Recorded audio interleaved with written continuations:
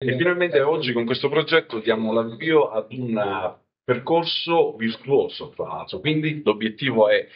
partire da quello che è un problema trasformato in una grande opportunità, un'opportunità per l'intero territorio, perché eh, questo progetto prevede la, la, possibilità di intervenire attraverso una società con un finanziamento regionale anche importante, parliamo di circa 3 milioni di euro, che prevede dal momento dell'abbattimento il prelievo, il controllo sanitario ovviamente che non può mancare in questo caso, fino alla trasformazione ed ottenere quindi un prodotto da mettere sul mercato e quindi un prodotto eh, legato a questo che è il cinghiale da poter poi eh, far utilizzare a livello di eh, turismo enogastronomico su tutto il territorio, quindi immaginiamo i ristoranti, no? quindi creare ecco, una filiera virtuosa e ovviamente qui abbiamo anche la possibilità, in questo progetto è previsto anche l'assunzione di manodopera, quindi di personale, ci sarà eh, ecco, un grande eh, fermento intorno a questo, ma sono eh, coinvolti i cacciatori, le, le, amministrazioni comunali, sono coinvolti ovviamente gli ATC, no? gli ambiti territoriali di caccia, le figure preposte